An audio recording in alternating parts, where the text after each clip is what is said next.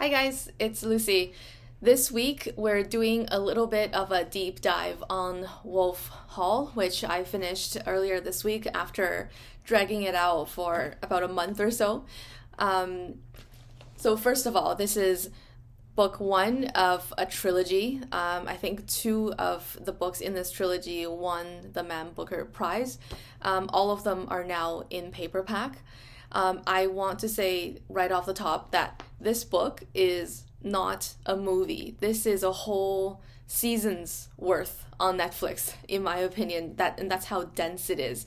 And when I try to read this book at the normal speed that I generally skim fiction um, books and nonfiction, I tend to read a little bit slower. But at my usual pace, I think I got lost um, during the first half of the book, like after about a page and a half. So I, I had to slow myself down to not miss all of the hilarious and very intelligent banter and a lot of the indirect insults being thrown around. There's a lot of winks um, here and there. So that I think that's why it, it took me a while to get used to the pace of this book and the complexity and all of the cast involved. So it's really a, a very ambitious uh, piece of work. And so, in line, um, in the same genre, historical fiction, one thing that I remembered um, coming to mind was.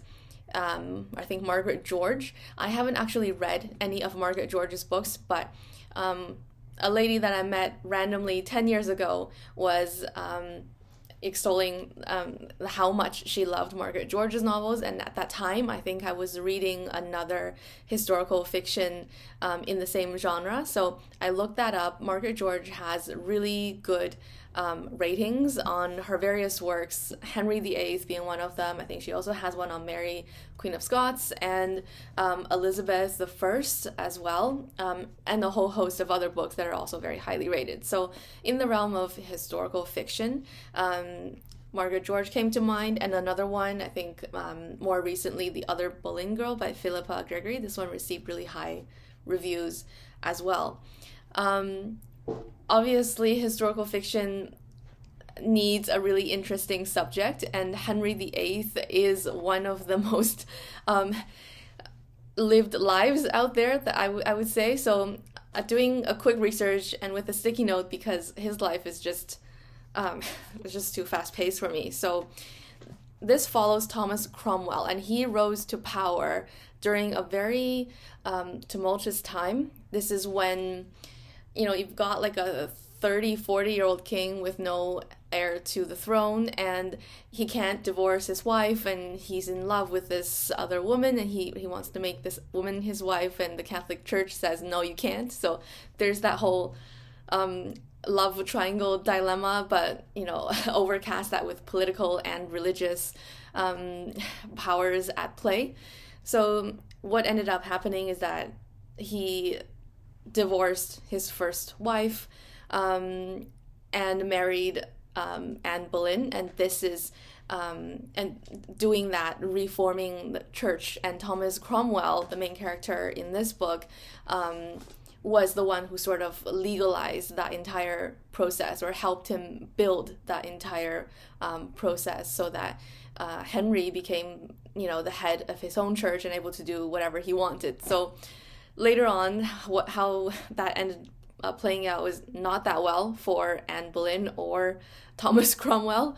Um, he Boleyn ended up getting beheaded. Um, the third wife, Jane Seymour, ended up dying, and then the fourth wife ended up being annulled. So the fourth wife, Anne of Cleves or Cleves, I don't know, a German princess.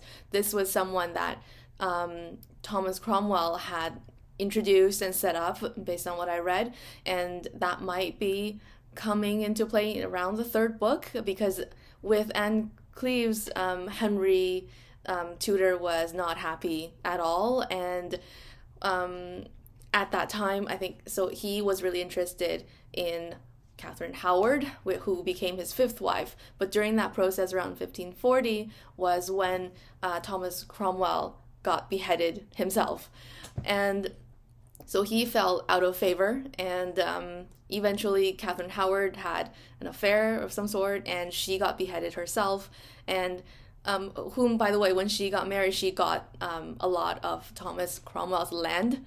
But when she got um, beheaded, I'm not sure what happened after that. But the sixth wife, Catherine Parr, was the only one who, I suppose, outlived Henry. And just a byline, you know, she had four husbands herself. So another very interesting character out of all of these. I think I'm most interested in the background and life of Catherine Parr, to be honest.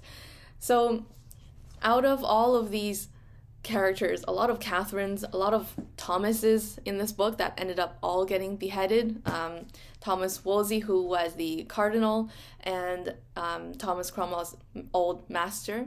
Uh, Thomas Cromwell himself and Thomas Cranmer and Thomas More. Um, all of these were central figures in um, the political religious um, life um, surrounding Henry VIII. They all fell out of favor one way or another, I believe, specifically over the argument of religion and the applications of laws and at the end of the day it was all about the women in his life right so, a very interesting subject and a very interesting approach and perspective. And I think it follows a lot of really um, popular, a lot of popular fiction lately in the market or that has come on to the market that were very enjoyable, that were written from the perspective of, say, a secondary character. So, topic wise, not the same. But what I'm thinking about is Madeline Miller's Circe and Achilles um, so Achilles was written from the perspective of um, Patroclus, who you know no one has no one really um, follows him as a main character, but it was written from his perspective and tells the unique side, um, well, fictional perhaps, an elaborated fiction, but very interesting from a secondary character. Circe, similarly, everyone knows about Odysseus and how he, um, you know, traversed the ends of the world and trying to get back home but Circe um, and is usually kind of mentioned as a just you know a witch character that kept um, Odysseus on her island for an extended period of time. But written from Circe's own perspective about her life, her upbringing, all of that is fascinating and includes some other main characters like um, that we normally wouldn't have thought about.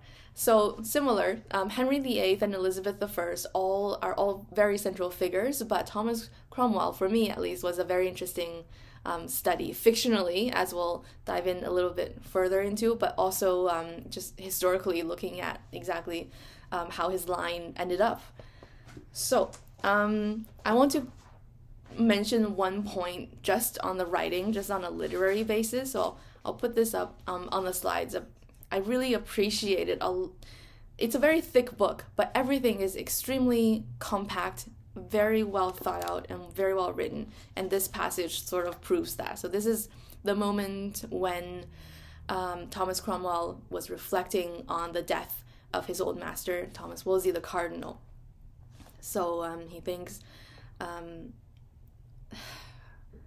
another man would go to Leicester and see where he died and talk to the abbot Another man would have trouble imagining it, but he has no trouble, he being Cromwell. The red of a carpet's ground, the flush of the robin's breast or the chaffinch, the red of a wax seal or the heart of the rose implanted in his landscape, seared in his inner eye and caught in the glint of a ruby, in the color of blood, the cardinal is alive and speaking. Look at my face. I am not afraid of any man alive on the face of it, it's a little bit of a quizzical passage. So, um, the context here being he was told that the cardinal's last words were, Look at my face, I am not afraid of any man alive. It's a strong statement, but this passage hit me and I felt like it was escalating, like fists slamming on a table, but I wasn't sure why it was that way. And because when we look at the subjects that he's mentioning, they don't make sense. You know, carpets, ground, some birds, breasts, wax, rose, ruby, blood. It, it's it's kind of all over. The tying, the uniting thing being um, various words describing color, right? So we have red, um, rose, ruby, and the color of blood, obviously. But red, um, is not just the cardinal's color, as we know. That's that's very explicit because red, um, based on the laws at that time, was only reserved for persons of very high social standing, like mem- nobility or um, uh, members of the council, the king's council. So that is the explicit uniting thing, that being the color. But it's gradual in the sense that it's literally building up the character, the man himself, up to his face. So um, from the ground, so the carpet's ground, that being the ground, the base of of the of the person, I suppose, and then it mentions the breast, and then the next um, segment of the passage starts talking about the heart. So you're gradually moving up, and then after the heart, it's talking about um, the glint, which is more talking about the eye, and then in the last uh, sentence referring to his actual quote, "Look at my face." So from the ground up to the breast to the eye to the entire face. That's why it felt like um, punches. Yeah, a very powerful passage, kind of like um, a man not dying, you know, withering away in that sense, which is which might be what another person uh, would have felt like pity, right? This dying this way is the antithesis of of pity. So it's more like I um, I, I I'm not afraid of anything. Yeah, exactly. I'm not afraid of any man alive. Um, in a, in a, in a way, beating all of them.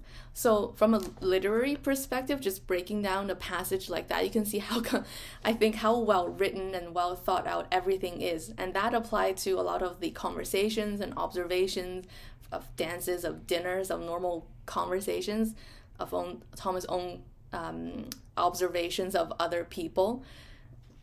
That's why it took longer to read this book than your normal fiction, um, from my perspective.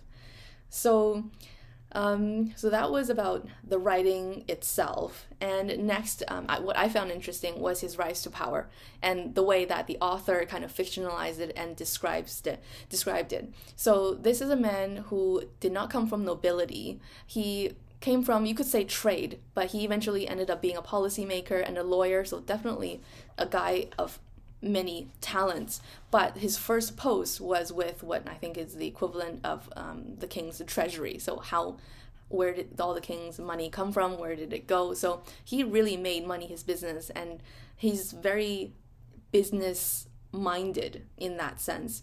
And he, you know, here he's educating like some duke. He's saying, how can he explain to him the world is not run from where he thinks, not from his border fortresses, not even from Whitehall. The world is run from Antwerp, from Florence, from places he has never imagined. From Lisbon, from where the ships with sails of silk drift west and are burned up in the sun. I think he's talking about the new world, the wealth of the new world. Um, not from castle walls, but from counting houses. Not but counting houses being the earlier version of houses um, not by the call of the bugle, but by the click of the abacus, not by the grate and click of the mechanism of the gun, but by the scrape of the pen on the page of the promissory note that pays for the gun, and the gunsmith, and the powder and shot. And another passage just on his view of money.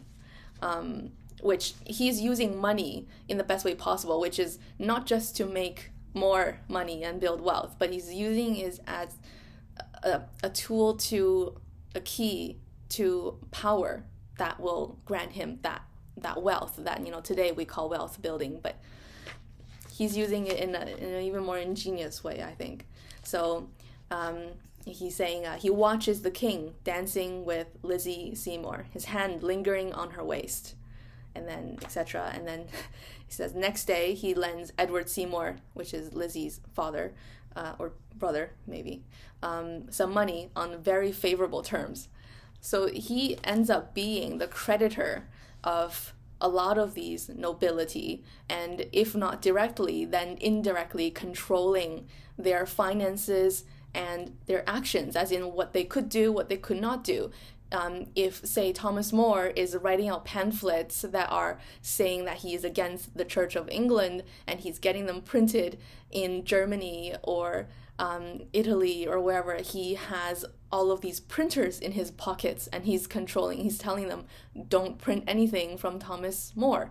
Otherwise, you'll lose all my business or I'll call on you know your credit and all of your creditors who are inevitably all of his friends um, and make life very difficult for for merchants. So he has ways to everybody, um, some sort of way. So, but there is a note here that I think is quite insightful is that money um, in this world, in his in this world where you know there were a lot of opportunities, went very far for him. Obviously, it got him um, a lot of land. He became uh, a baron, um, but there were some things that um, you could not really buy with money, and this is and this is one of those things. So he says, this is the whole difficulty of dealing with them. Men who are always talking about ancient pedigrees and boyhood friendships and things that happened when you were still trading wool on the Antwerp Exchange. You put the evidence under their noses, and they start getting teary over snowball snowball fights. Um, so this is you know him being a businessman he thinks one is one two plus two equals four. If this guy is doing this then you should just ditch him. But you know they with ancient pedigrees and boyhood friends the king is lingering over these snowball fights of remember when so and so did uh, through through a I don't know threw a snowball at at so and so and that was a really nostalgic moment. So it's things he's he thinks that you know money and hard evidence should get the results, but sometimes it doesn't, right? It's relationships. He finds that the relationships are sometimes overriding um, the influence that he has built directly on hard dealings and money being the result um, of that. So that's a very interesting point I found. Um, him being having fallen out of favor by 1940 and um, when he gets beheaded so when someone gets beheaded all of their titles go away. But what i found interesting after a quick wikipedia was that his son actually got granted the same title. So that was quite i don't know what i'm not sure exactly how that was done but i think that couldn't have been easy. And the, the when his son gregory got back the title um, that line continued for about a hundred ish years when you know the barons of Cromwell fully died out. So for a hundred years, his descendants were nobility, um, and especially his son, who was able to survive his downfall and still be in favor enough to be granted the same title back. So here is a little bit on his thinking and his education that the author has. Um, thought out that I thought was a really cool thing worth mentioning. Um, this is one of the truths of the world, I suppose. So, so this is when he took Gregory to visit Mary, the first princess. So the princess, um, the daughter from the first queen. And at this time, no one went near Mary because it was not Princess Mary; it was Lady Mary. So she was not a she, her title was revoked because Anne Boleyn became queen and Elizabeth, her daughter, um, is the only princess, and so Mary was just sort of um, at this time. I think we can imagine it well that she is a little bit of an inconvenience for everybody, but this is exactly the time that when Mary has been shunted off to some countryside house um, and no one is is you know wanting to go near her. Thomas Cromwell takes his son and goes and um, at the end of the day he he tells Gregory you know what do you think would happen if the king died tomorrow? And and he continues to say it's all very well planning what you will do in 6 months what you will do in a year but it's no good at all if you don't have a plan for tomorrow.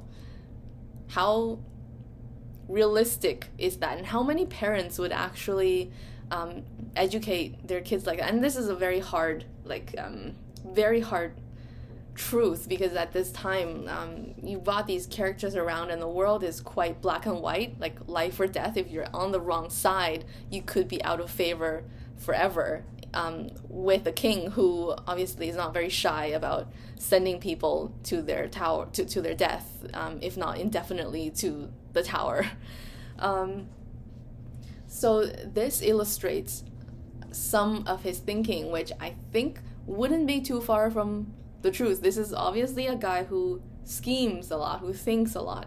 And there was another example when you know he was in charge of decorating um, the new queen's chambers, and he says, you know, for the wall murals, we don't want any of the regular saints and um, virgins and all of that because of its obvious ties to Catholicism, which you know Henry is very busy overthrowing at the moment. So he said instead we're gonna have um, the Greek um, goddesses. We're going to have Artemis, we're going to have the Muses, we'll have Athena, and all of them are going to have dark eyes because Anne Boleyn had dark eyes.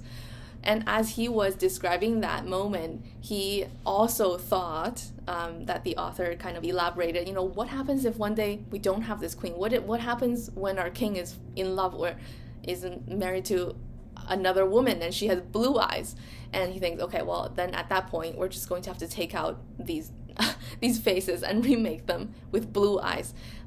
Obviously, a very dangerous thing to uh, to if he said this out loud, that would have been not good. But the fact that he thinks so far in advance and he's able to think of these potential branches of you know possibilities of where things could be tomorrow five years ten years his it shows the the level of just non-ending um, planning that goes on and all of it is very realistic and very strategic and i think there's one phrase that sort of summarizes um, this character's life and the way that um, the author approaches this book and this character herself which i think i would like to end this video with so um, this is another thought within his own head. And this is a guy who, by the way, is probably one of the most ugly courtiers there were. Um, and the portraits um, sort of reflect that as well. Um, a very rough looking son of a blacksmith. And so she says, well, um, the author says through Cromwell, suppose within every book there is another book and within every letter, on every page, another volume constantly unfolding, but these volumes take no space on the desk. Suppose knowledge could be reduced to a quintessence held within a picture, a sign, all within a place which is no place. Suppose the human skull were to become capacious, spaces opening inside it, humming chambers like beehives that's what I feel reading, you know, page after page of interactions and the planning and the rise of um, Cromwell and the fall of everybody else is that if you were to open his brain, it would be humming not like a beehive, but like a very high horsepower engine. Um, so I think that's pretty high praise, no doubt to say that I think this will be one of my um, favorite books uh, of of the year. Um, I think I need a break before reading the second and third one though, because the rise is very exciting, but I think the fall, um, because now I've I feel like I'm invested in this character, and I know that eventually he's going to get beheaded himself, and that the desperation might impact me a bit a bit too much. I think I need to prepare myself a little bit more. So I hope you enjoyed the ranting, and um, if you get around to reading Wolf Hall or um, Margaret George or any of the other books that I mentioned, especially um, Madeline Miller, that those are um, very good reads as well. Uh, let me know. I'd be happy to know um, what you thought about all of these. Thanks for watching and have a good week.